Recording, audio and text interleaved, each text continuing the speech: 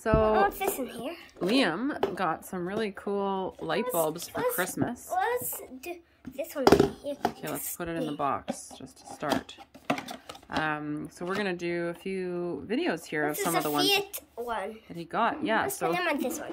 Yep, that's a Fiat or maybe Fight, I'm not sure. Feit Electric Disco Party Bulb. So let's have a look at the box and see. Um, lots of colors, LED crystal bulbs, standard light socket. Uh, it is a 5 watt bulb. You can see right here. Nice 10,000 life hours. What else does it say on this box? A little bit of French.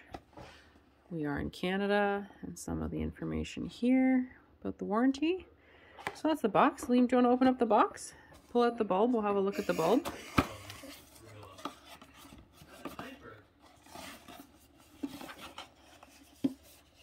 It's a it's a Fiat. Yeah. So that's the bulb. You can see it's got a nice uh, lens on it here with lots of facets that's going to help the disco effect. And usually inside there is uh, some LED sort of lights that we'll see in action soon. We've got the regular base. Here, we'll just have a look at the bottom. Um, yeah, it is an E26 base. Yeah, you're right. So not for use with dimmers. Do not use with dimmers. Uh, suitable for damp locations. There you It's go. the one in there and E twenty one as well. 5 watts disco LED. Yeah, we'll have a look at that other one a little later. Okay, so let's uh, get it turned on. So Liam's just screwing it into uh, just a, do it. Have to socket go here, so we can have a look at it. and Okay, and then Liam's gonna, can you plug it in there? Perfect. turn it on. Oh, doesn't seem to be turning on. Let's see. Oh, there we go. Just wasn't quite tight enough. So wow. So I'm gonna hold it still because you'll see that it actually spins as well. I don't know how that works with the. Uh... Not on the outside as well. No, you're right. Just It's just the the the inner part that spins, and then there's a lens on the outside that does not spin. I guess that keeps it protected.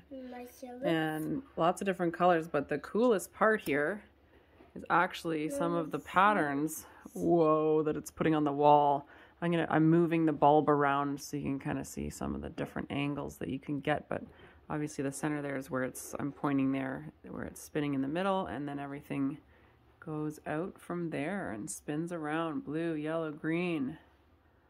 Very cool. Kind of looks like the northern lights up there. All right, and there you have it.